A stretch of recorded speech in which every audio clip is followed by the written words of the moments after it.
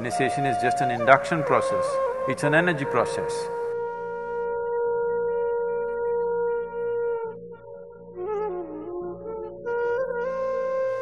In that direction, this uh, Rudraksh Diksha will be given.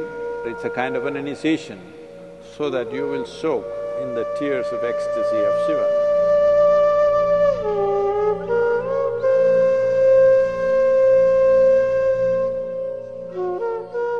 This is how the year is divided in the yogic uh, culture.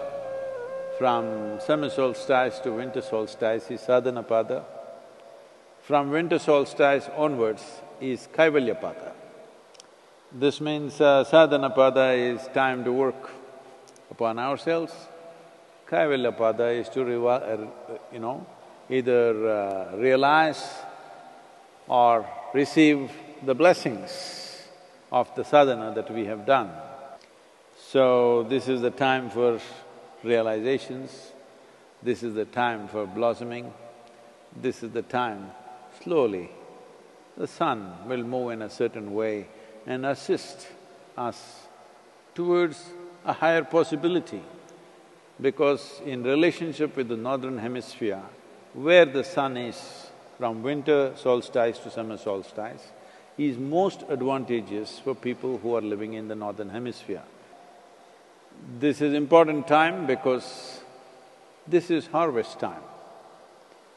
In India, even physically this is harvest time, even materially it's harvest time. What is considered as uh, Sankranti, what is considered… Uh, what is called as Pongal in Tamil Nadu are essentially harvest festivals. It's a farmer's festival or it is harvest festival. It's mainly about harvest. Even for a yogi, this is harvest time. For what work you do within yourself, this is the time to take what you want from it because harvest is not just one time. You must slowly gather things so that after some time, if you look at yourself, you can't recognize how you were five years ago or ten years ago. That's how much wealth you have gathered within yourself.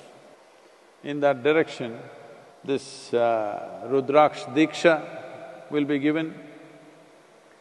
So Rudraksh is not just given as something that uh, material, it's given as a Diksha or it's a kind of an initiation so that you will soak in the tears of ecstasy of Shiva. Initiation is not about a bundle of instructions. Initiation is not a bundle of words. Initiation is just an induction process, it's an energy process.